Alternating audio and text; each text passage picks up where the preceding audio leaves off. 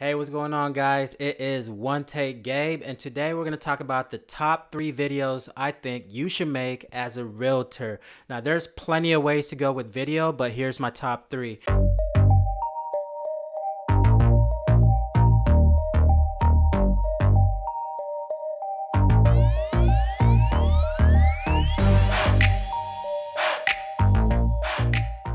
First one is going to be community videos. So community videos are going to basically let your audience know what areas you specialize in. And this is great because you can run them as ads and it establishes your brand within that area and makes you look like the expert within that special area.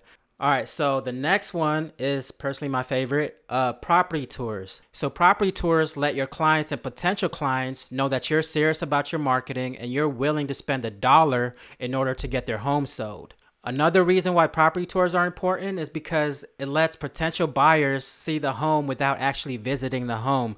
Uh, there's been countless of times where I've heard stories about buyers that actually put an offer on a house because they seen the video. A property tour could be more than just a sales technique. It could be a sentimental gift to your client. Let's say your client has had kids in that home and has raised them over the last 10 years.